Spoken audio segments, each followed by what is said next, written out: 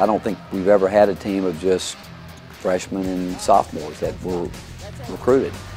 We like this group. We like the energy. The chemistry's been great. But the question will be is if we can get some consistent scoring from some guys. But I do think it'll be one of the most balanced teams in terms of scoring that we that we've ever had. It's very energetic. Practice is energetic. We always getting after each other.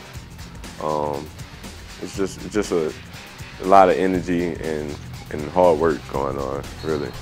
I mean, we we know that people see us as a young team, but we don't we don't we can't use that as, as an excuse, and we know that. One thing that we wanted to build with this team was chemistry, and and uh, we feel good about that. And we just it's a team that you look forward to going to practice with every day. We've got some legitimate size. When you think about Cameron Ridley and Prince Ibeh, not only with their size but with their length, size is something that we haven't had, and we certainly know that uh, we're going to be able to play a couple different ways. We can play big, hoping that those guys make the adjustment quickly to college basketball, and that would be their biggest thing is not fouling out, learning how to play without fouling.